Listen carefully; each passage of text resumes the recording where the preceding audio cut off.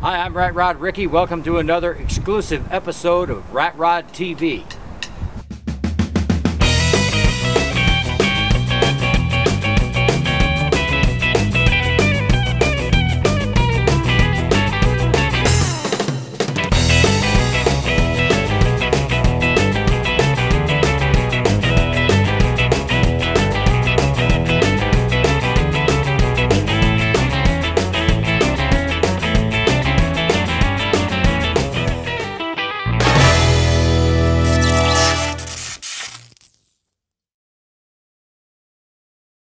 We're in Las Vegas to check out the progress on Stone's new radical over-the-top rat rod. Let's go. For those of you who are unfamiliar with Stone, he is a master metal fabricator, sculptor, and artist. Kind of a Toulouse-Lautrec with a TIG, MIG, or a torch. Can you tell us your life story in like uh, maybe 60 seconds? started uh, playing around with metal and just started teaching myself to weld and you know made from the smallest piece to the stuff that I make now. Self-taught, and you do more than just Chop rat cars. rods and- chop cars. You actually do metal sculpture, and people oh yeah. commission Um, you to build things for. personally, like the cars and the rat rod, that's my like that's what I love. That's my passion. Um, I don't build cars necessarily for people. Um, however, I have, but it's not like my main um, source of income. I build a lot of custom metal from furniture to handrails to sculptures. Um, This is a fantastic shop you've got here. You came up from LA, right? yeah, um, after New Orleans, I left New Orleans and then I moved to LA. Was there for five years, and uh, you know it was just too fast for me. You know, I just that and I. I I built cars and bikes, but I hate to drive more than anything. more than anything, it's like I, I hate it more than anything.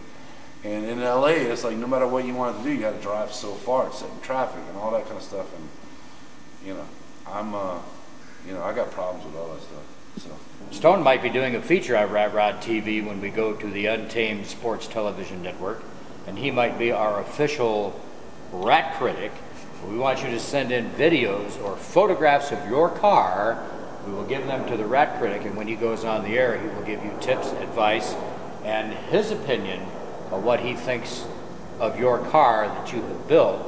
And that's going to be based basically on your design philosophy, which is a lot different than some of the other people we've talked to, des- design Yeah. philosophy.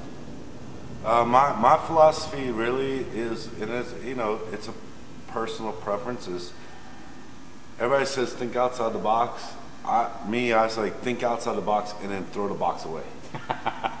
you know, don't even keep the box to get even have to even go back into it. So, and uh, you know, I'm I'm a monster dude. Like I like old B movies and I love monsters and all that kind of stuff. And you know, it relates to my cars. I want to build it like just this mean, aggressive, mean type monster is what it is. It's a Frankenstein of a car, and you know, I roll with that. And um, Basically, that's a rat rod. It's a Frankenstein. yeah, well, you know, people have different versions of that, but that's what it really is. I don't care what anybody else says. You know, some guys, you know, oh, it needs to be all authentic, like original parts, and you know, it looks weathered, and they call that a rat rod. It's like, you know, to me, my opinion of a rat rod is to, you know, why, why would you have a car that was that came off the line, and it just has a rustic look to it, and then you you call that like something custom? Uh, basically, what it is is somebody else, like Ford or Chevy, built it. You didn't really modify it that much, and then you just let it rust, and then you call it rat rod. So the goal is to be creative. My, my goal, yeah, my goal is like Chevy. To me, Chevy made awesome cars back in the day. I love the lines, it's sexy. However, I'm not going to roll with something like that because this is my heart and my soul into it. I want to change it and make, you know, modifications to it to make it where it's it's my car now. It's not just Chevy. A head scratcher. Yeah, head scratcher. Monsterized. So your, your design philosophy is if you're going to build a car, do the very best you can, be as creative as you can. Yeah. Think outside of the box, make it your car or a head scratcher, as you would call it. Absolutely. and enter it in the shows, and that's probably one of the reasons why your group is doing the show at the Hard Rock versus at Viva because they have specific ideas of what they think the car should be in their show. And one thing, let me tell everybody is that my opinion and anybody else's opinion of whether or not it's like a good car, or not a, a car, if it's a rat rod, whatever it is. The thing is, is if you're building it, that's your car, and you should never, even like if I start doing some critic stuff, you know, like, you know, take it at face value. That's your car. If that's the way you want to do it, there you go. But I'm going to tell you, there's different ways to do it to make it even better and make it even more your own, as opposed to me sitting there dogging you. You know, it's not about that. It's about just you know making it more yours and not worry about what everybody else thinks. 1948 three-quarter ton flatbed, uh, Chevy stake bed, actually, old farm truck. And you obviously chop the body Uh, yeah. more than once. Probably like six different ways. It looks so cool. Now, this car, you were talking the other day about not having a, a, a radiator on the front. You were thinking about doing something different to cool the power plant. Yeah, I've seen a lot of people put radiators in the back, which is cool. Um, but I kind of want to put the radiator somewhere where you don't even see it. Um, I'm not really sure if I can do it or not, but I'm gonna try at least.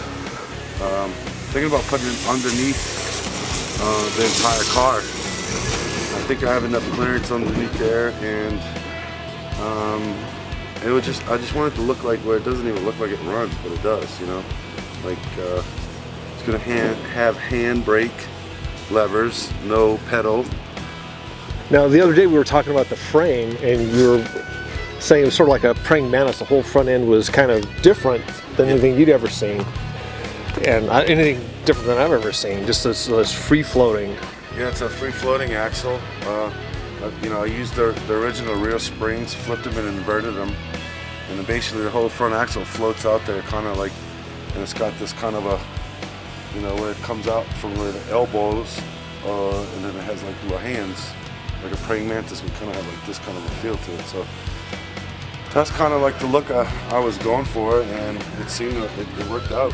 So, you know, I take big pride in like what I do, and uh, you know, the whole thing, think outside the box. I don't even have a box, never even had one to think in. So I, I just like to do off the wall different stuff.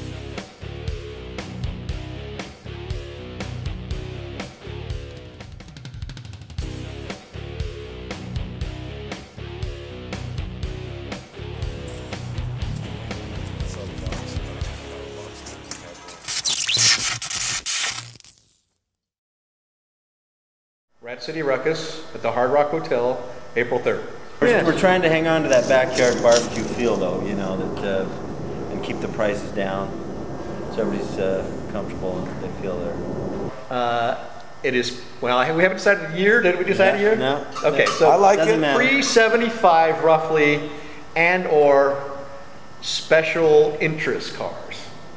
That's our phrase. So if it's a, it's a car of special interest, I mean, this could be a brand new, this could be a 95, for all we- but it's a special interest. So if it fits our parameters, we'll let you in. But we don't want to make it so broad where, you know, the tuner cars take it over. So we do want to say it's older cars as a whole, but if you brought a tuner car and it's a special interest and we agree on it, come on in. Ford, uh, the biggest thing with, uh, with us, I think, is, is more about good times and cars as opposed to uh, fashion and those little cliques of like more concerned about what, what they look like. We're more concerned about people that are interested in cars, and it doesn't matter if it's a beach cruiser, lowrider, rat rod, uh, street rod, hot rod it doesn't matter because none of us can say, you know, we can't be this snobby about it. You know, it's Rat City Ruckus at the Hard Rock Hotel, April 3rd. Back to you, YouTube. I'm Rat Rod Ricky for Rat Rod TV, looking for rat shit.